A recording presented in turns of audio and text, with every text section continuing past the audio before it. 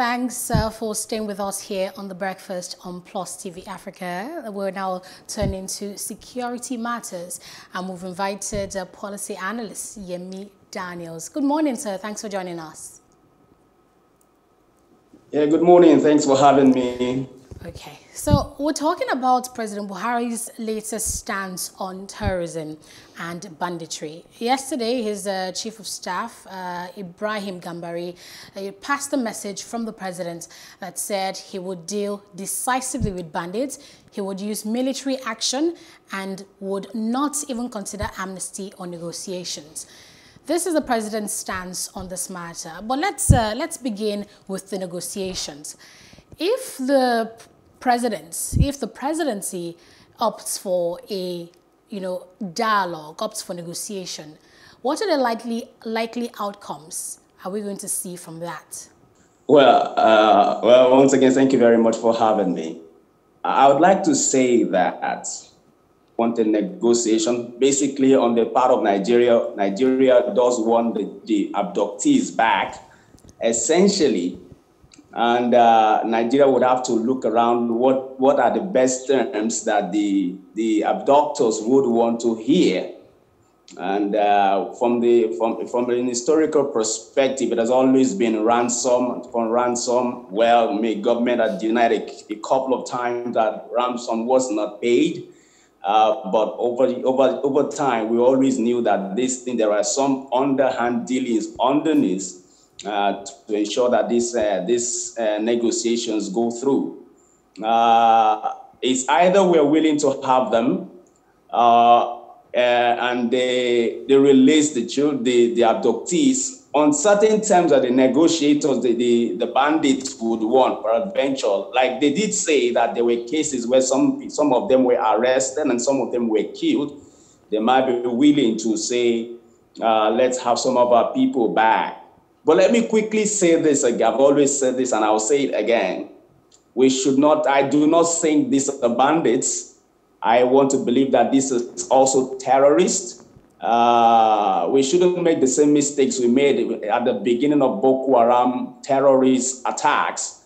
That we, we, we they were mistaken for mere insurgents. They were mistaken for people who are disgruntled elements and I think that if we do not have, if we do not name the problem what it is, we might not be able to, to provide effective solutions, sustainable solutions to them. So I would like to say that these are essentially terrorists. Forget whatever, uh, forget.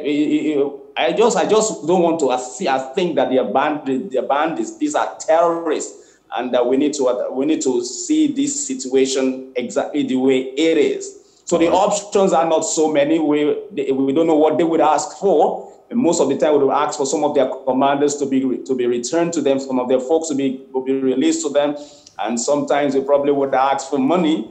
And then Nigeria would say, okay, we want the abductees back, as many abductees as you have with you. But they would say, well, with the, the ones you want, the ones we have, the ones we just took at the ones we can give to you back now. We may not be able to give the old ones we've always had with us. So there are so many, there are very limited options. But what Nigeria does want is we want our citizens back to safety. All right. We'll say good morning to Barrister Okereke Chinwike, the founder, African uh, Law Foundation. Thank you so much for joining us this morning, too. Good morning. Thank you, thank you. Sorry right. for coming in a bit late. No, it's, it's, I was caught up with the truck. All right, so so I, I want you you to come in here the president going, you know, um, taking this uh, route, saying there's not going to be any negotiation, there's not going to be any amnesty for bandits um, and the likes, um, goes completely against what uh, Sheikh Gumi and uh, some other um, persons had suggested and had, had advised. Uh, we were almost getting to a place where we needed to even show pity and um, uh, have a conscience, you know, towards these bandits because, you know, they, you know, they, they also are nice people. That's almost the way it was getting to be painted. Um, but I want your thoughts on you know why the president has taken this stance and if um, it is uh, the wiser decision to take. Yeah, thank you very much. Um, I think I'm 100% in support of the, the stance of the president. A bandit is a criminal. And uh, if you're a criminal, you're a criminal. You don't uh, parley with criminals. The ones are the antecedents of the bandits. You know, we over the time we have been, uh, you know, uh, somehow uh, take them as uh, men, um, men, uh, miscreants. The, the bandit is almost equivalent to terrorist. This is a man that will ravaging the almost the the the, the, the northern region, you know, kidnapping, destroying properties, killing people, taking ransom. These are criminals. And you don't dialogue with criminals. Because if you do that, you keep encouraging many others to come up. If you dialogue with them, if you negotiate with them, you now find out that criminality has become a business. People will start going into it because they know that government will come back to negotiate. How, how do we do that? It means that the rule of law has no uh, relevance. It means that the our our constitution has no has no relevance. When you this, when you breach the law, when you go contrary to the, the, law, the law should take hold of you. You need to be you need to be subjected to the tenets of the law. If you commit a crime in every sense democratic government, you will you be apprehended and be persecuted. The bandits are criminals and they should be apprehended and persecuted. That is what the rule of law is all about. And that is what that's what makes us a society and a democratic society. I, I, if you can remember the genesis of Boko Haram, they started this way, and the government began to, you know, you know, you know, begin to uh, parley with them, begin to take them like they are nothing. and these guys have metamorphosed into another big-headed monster. this is another monster to... coming up. We need to give you the necessary um, attention needed. Okay, I wanted to bring your attention to something, you know, your colleague just raised, uh, Mr. Yemi Daniels, who's a policy analyst. He, he mentioned uh, just before you came on that the presidency keeps on denying ever negotiating, denies ever paying ransom for, you know, the release of any kidnapped person. But reports always come out that money was paid. If the presidency is saying at this time that for the Kagara boys, what would happen would be decisive military action, how can we then trust them, you know, knowing reports, information that in the past where they denied ever paying ransom, ransom was likely paid?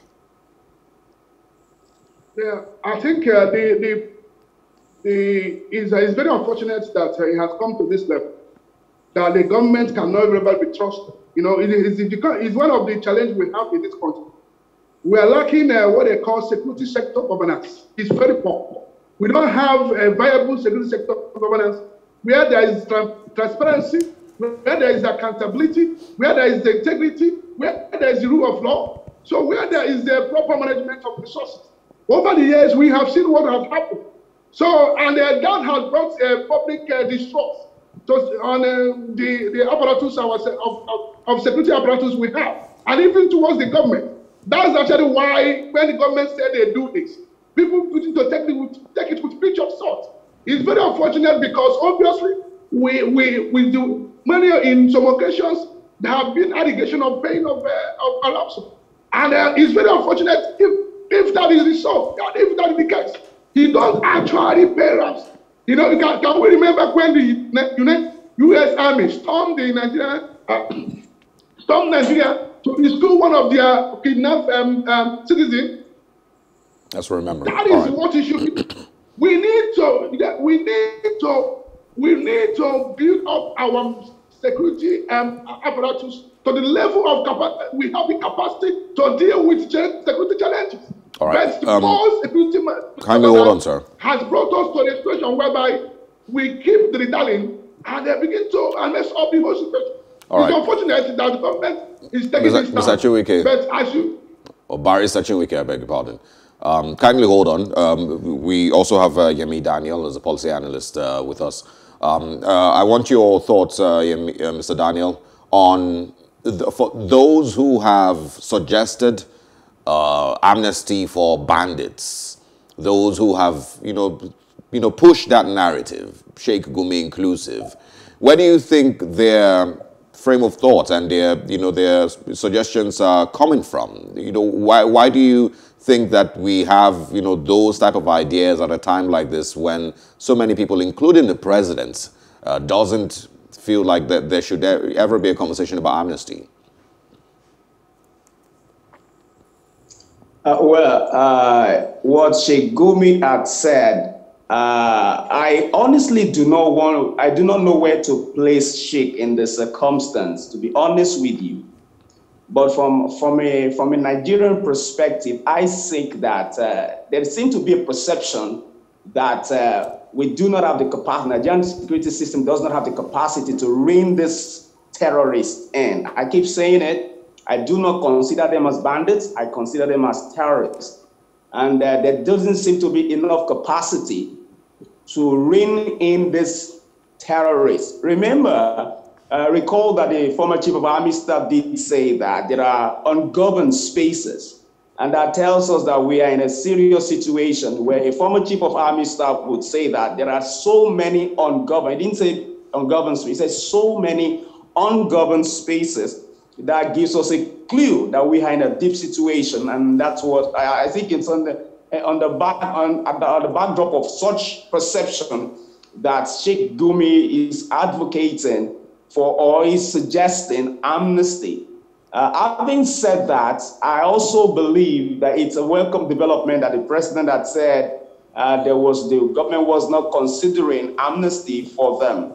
Uh, because usually when you, you reinforce bad behaviors when this is done, unfortunately, we have gotten to a situation where we may be negotiating from a weak position because it, uh, to a large extent the security system is not effective, uh, it's not an effective combat measure against uh, terrorism. However, however, we need to, Nigeria needs to talk tough and uh, we need to do a whole lot of work more.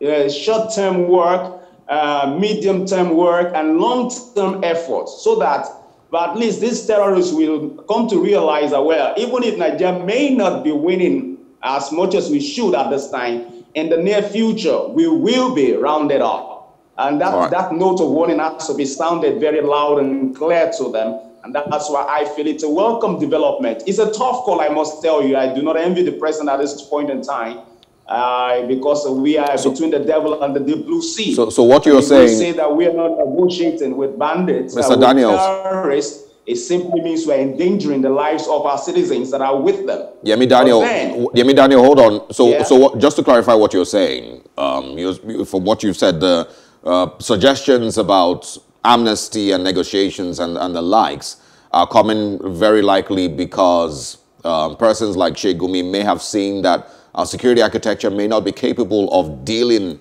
um, with these uh, bandits. Um, is, is that what you're saying? Um, or, or, would yeah, you, or would you, would you think, would you also say that maybe you know some of these persons um, have chosen to ignore the gravity of the crimes that these bandits have committed? Well, yes, I do understand that they may have ignored the the the the the the, the, the, the gravity, but they also would want to look. They they stay there. Trust me, across the entire Northeast and Northwest, these people are reigning supreme. I tell you the truth. Reports coming down south there tells us that these people are in and are, so much in control of this of this of the systems there to the extent that even the the former uh, chief of staff did say, chief of army staff did say there were many ungoverned spaces. That simply tells us that there are places that the government security apparatus does not reach at all. There all right. is no rule of law there in those places. There is no government presence in those places. So those places are small. They are just uh, easy, easy, easy. Uh, would I say encroachment for terrorism of this sort. Okay. So I mean, so I think they do, it's not as if they have ignored. They may they have ignored rather. They have it, but they're also looking at the situation that it could get worse. Okay. You understand that right. if something is not done, this thing could get worse because there is no capacity on the side of the Nigerian army or the Nigerian security system to rein the situation in. All right. Uh, thanks, uh, Mr. Yemi Daniels. Let's bring in Barrister Chinwike here. Uh, Barrister Chinwike, um, can you hear me? Yeah, I can hear you. Okay, so there've been there's been conspiracy theories that because the president is from one part of the country, and it seems the majority of these criminals are from that same part of the country. It seems that the president or the presidency has been, you know, dealing very light with this situation. How do you think his stance on this now, saying he's going to deal decisively with them, he's going to, you know, use military action? How do you think this will maybe put to rest all these reports and, you know, uh, rumors, so to speak, that the presidency is dealing lightly with bandits in the country? Yeah, um, it is uh, it is actually good that the president is put on a, spotlight as concerned um, uh, because he's from the north the issue is that, uh, you know, this uh, the administration that came on the mandate that they want to bring to an end the issue of insurgency in the country. And uh, we have seen over time, for almost uh, how many years now, that um, that has not been the case. Short, the situation has become worse. And um, and we, we, we can agree with me that um, the issue of banditry moved to the next level during his administration. So is it not actually indictment on his government?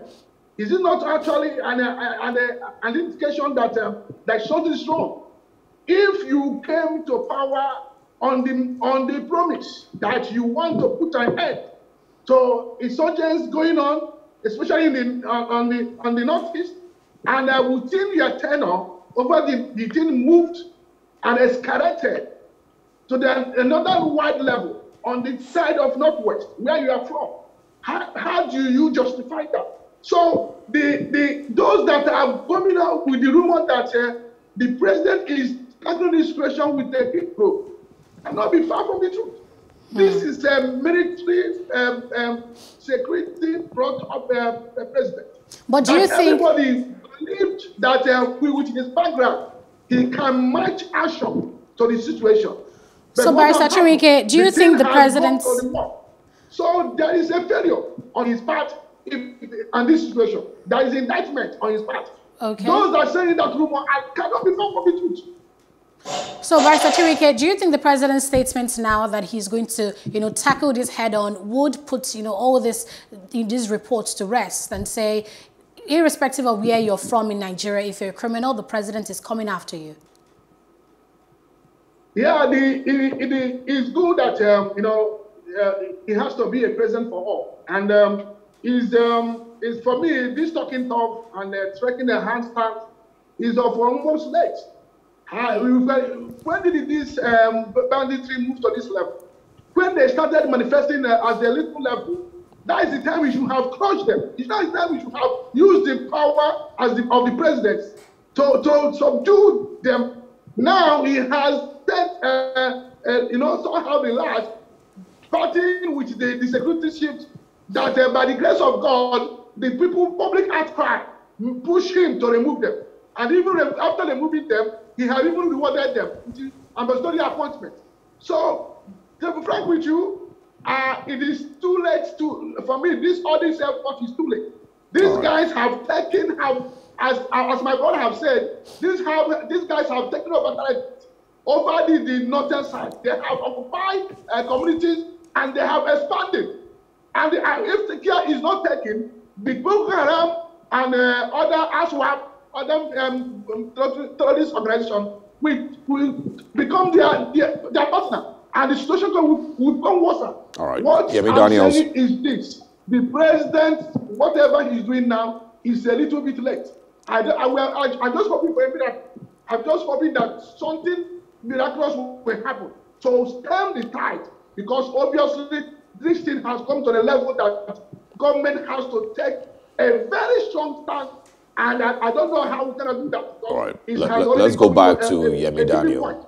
And God is will help us to see what we can do. Let's go back to Yemi Daniel. Um, Barrister Chinwike says, uh, says a little too late. Well, um, hopefully, better late than never.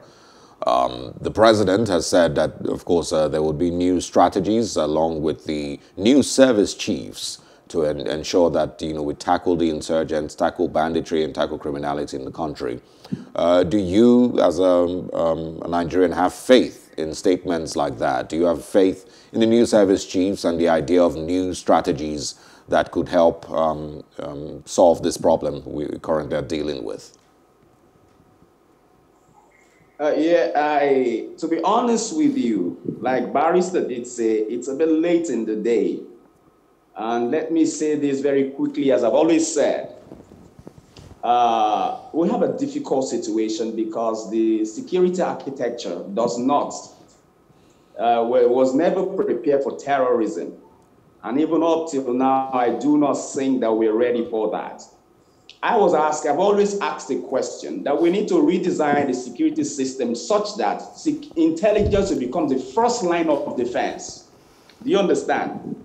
As it stands today, our first line of defense is actually police law enforcement. We need to change it. The intelligence gathering should be our first port of call in countering terrorism. We need to understand this thing that terrorism is a 21st century phenomenon that will not go away so fast. Now, in stepping up the intelligence gathering and intelligence capacity in the intelligence community, we would have, to a very large extent, uh, uh, we will be collaborating with a wide network of other organizations, other countries in the world who are trying to counter this issue. I tell you, with the present architecture, all of those things might just be rhetorics. I tell you the truth. They might just be statement. We've heard these things over and over and over again.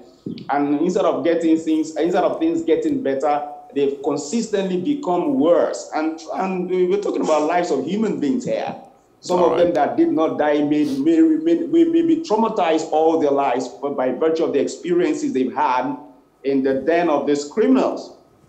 So okay. having said that, I think the necessary thing at this point in time, essentially, is to get the intelligence network a lot more involved in this process in such a way that even those ungoverned areas, the ungoverned areas, we need to recruit people from those systems. I tell you. All right, Yemi we Daniel. need to recruit people from those systems, and in the short term, Trust me, in the short term, I'll suggest that we recruit mercenaries too. In the short term.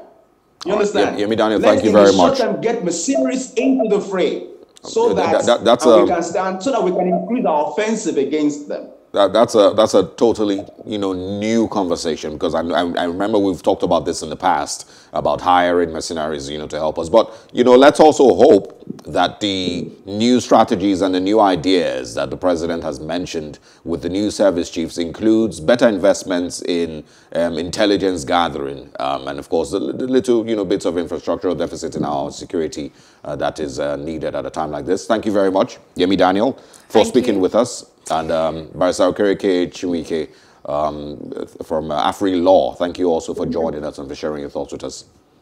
Thank you. All right. Thank you for having me. I appreciate it. Absolutely. Right. We'll, we'll, go on a short break. When we come back, still talking security, we're looking for, at it from a different angle.